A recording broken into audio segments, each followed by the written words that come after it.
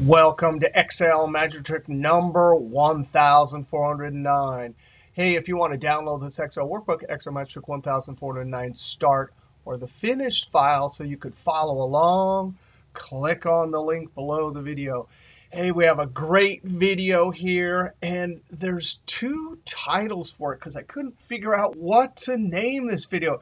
We're definitely going to replace VLOOKUP and SUMIFs with relationships in a pivot table if you have Excel 2016. And the other thing this video could be called is how to bring multiple tables into the pivot table field list without Power Pivot. Now, this trick is going to require that you have Excel 2016.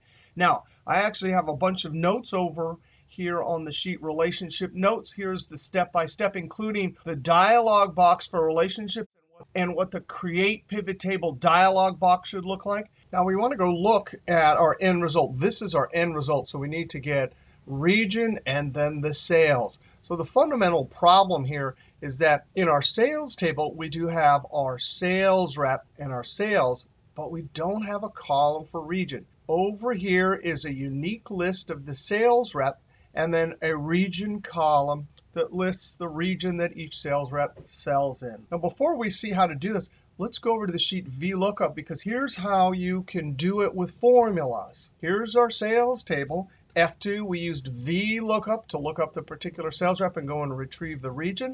So this is an extra column we added using formulas.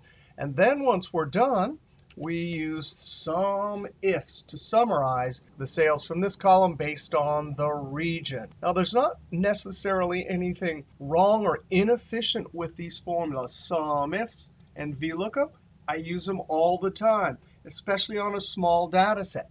But we definitely want to see an alternative to using VLOOKUP and some ifs.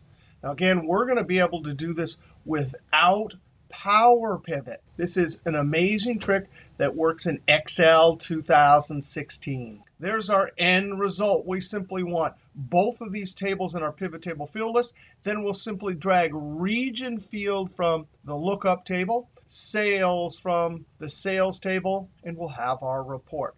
Now, in order to get this trick to work, we want to go look at the data ribbon tab. We're going to use the relationships button. Wait a second it's grayed out.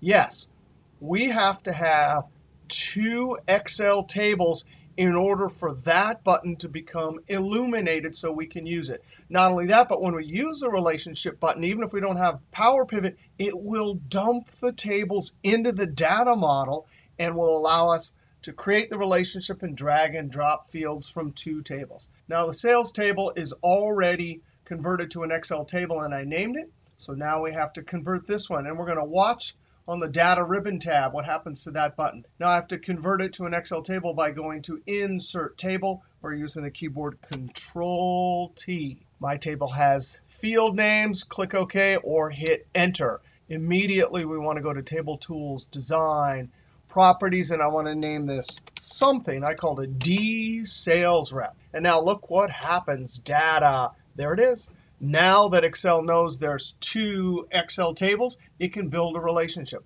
I click this button, and we want to select New. There's our relationships dialog box. Now the key is, is that the related table is our lookup table. The way I always remember is I see the word primary.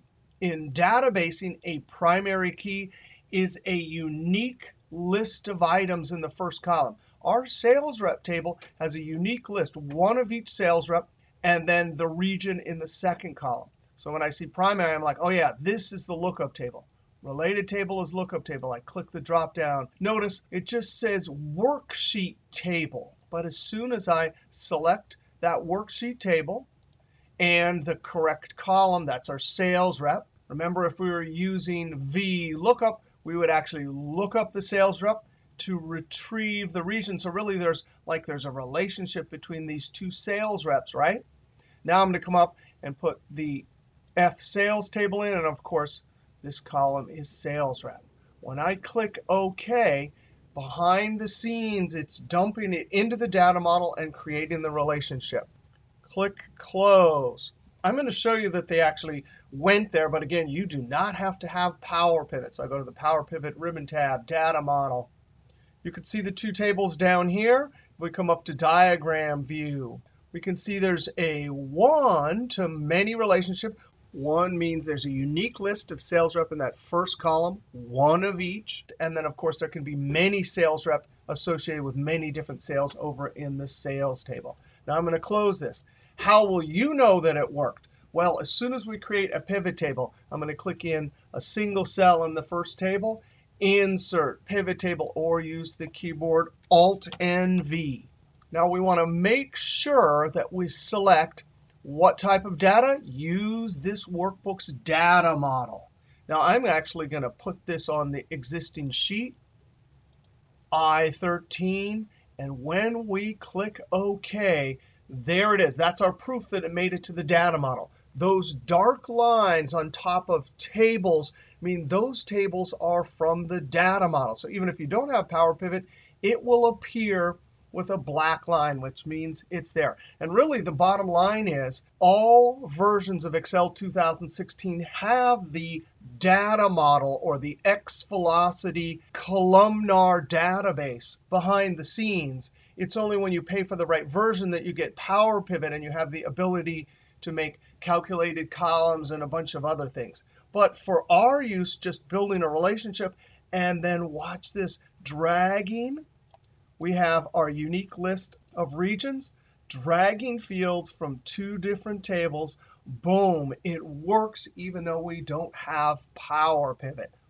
Now I'm going to get rid of that row label, design, layout, report layout, show in tabular. Right click, number formatting, and add some number formatting like currency. Click OK. So there you go we got two tables into our pivot table field list. We created our regional sales report, and we didn't use VLOOKUP or SUMIFs. Now, actually, before we end this video, let's go check out one last thing. Let's go back up to data, over to relationships. I'm going to click the relationship button, select the relationship. And when I say edit, look what it says now. Ah, the data model, data model table. Before it said worksheet. And again, even if you don't have the right version of Excel 2016 that has Power Pivot, data model is still going to be there. And we can build these relationships and pull fields from two or more tables. All right, we'll see you next video.